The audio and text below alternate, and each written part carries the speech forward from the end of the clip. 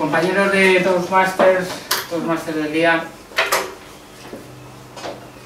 Jordi, a Jordi todas las mañanas el despertador le suele sonar como a las siete y media. Es su hija el despertador, no es el reloj. Eh, pero un día fue especial porque tenía que levantarse antes, tenía que ir a Madrid, no tenía que trabajar en Barcelona ese día. Se las apañó para arreglar todas sus reuniones fuera de Barcelona, para que fueran en Madrid, en un día concreto, para aprovechar el día. Se levantó antes, se fue para la estación de Sanz, y allí cuando llegó, vio como si hubiese pasado un huracán. Había 3.000 personas en los andenes esperando a que saliera su tren. Se habían cancelado todos los que estaban programados. Los puntos de información de Renfe estaban saturados, servicio de atención al cliente telefónico estaba saturado, y no había ninguna información clara ni en los medios de comunicación ni en las redes sociales todavía. Mientras que Jordi estaba yendo a, a Sanz, a la estación de Sanz, en Madrid, en, las oficinas de Renfe, los informes habituales de la mañana, de reporte, de cobertura en medios, de redes sociales, etcétera, etcétera, tardaban más de lo habitual. Había pasado algo ese día. Pero la historia de Jordi no es real, pero es verosímil. Lo que pudo ocurrir en las oficinas de Renfe no lo conozco a ciencia cierta, pero eh, sí que estoy seguro de que pasó algo parecido. Fue el 8 de octubre del año pasado, 2015, no sé si os acordáis. Todos los aves de Cataluña no salieron, se quedaron bloqueados porque hubo un sabotaje. Eso es una crisis. 13.000 personas sin que puedan coger un tren en un día. 8 de octubre. Cuatro días más tarde había un puente, el 12 de octubre. Y como somos los españoles con los puentes, que no nos perdemos ni uno. ¿Cuál debe ser el portavoz en ese momento de Renfe? ¿Quién tiene que salir a dar la cara? Veréis, en una crisis hay varias fases. Es un proceso en el que ocurren varias cosas y a medida que se van sucediendo hay unas necesidades de información diferentes. Hay un inicio, hay un crecimiento, hay una fase de maduración y luego ya una resolución de la crisis. ¿Cuál debe ser el mejor portavoz? Depende del momento, depende de las circunstancias, depende de esa fase en la que nos encontremos. Pongámonos al inicio de esa crisis. ¿Quién debe ser el primero en hablar?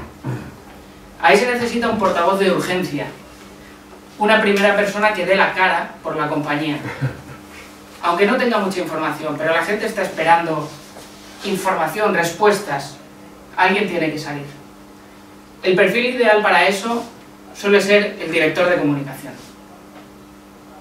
¿Por qué? Porque es el perfil más solvente para esa situación seguramente. Es una persona al que se le presupone habilidades de comunicación público, tiene relación con los medios de comunicación habitualmente y no es un público sencillo, los medios, los periodistas. Y además, es muy difícil hablar cuando no se tiene información. Es muy complicado. Por lo tanto, en esas fases iniciales en las que hay confusión y poca información, lo ideal es el DIRCOM. A medida que va pasando la mañana, ya se va investigando y ya se sabe qué está ocurriendo.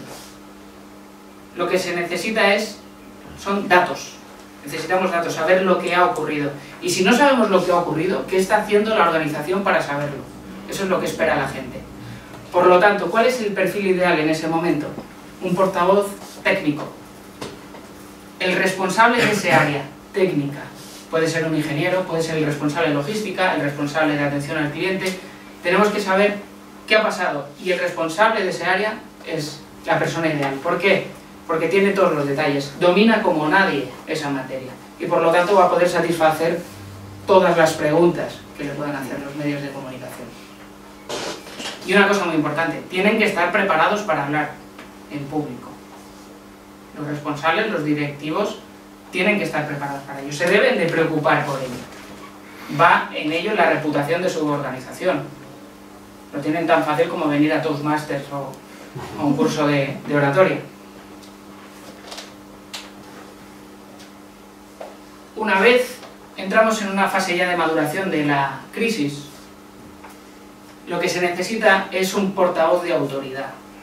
Un portavoz de autoridad que consiga cerrarla. Es el momento de recoger todos los mensajes que se han ido lanzando durante la mañana, confirmarlos y dar esa imagen de la, de la compañía en la que se transmite que se ha solucionado y hemos estado trabajando para hacerlo. El perfil ideal ya es el de mayor grado. Tiene que ser el presidente, el CEO, una persona que, si alguno de los portavoces o ha olvidado algún mensaje confuso anteriormente, pueda corregirlo.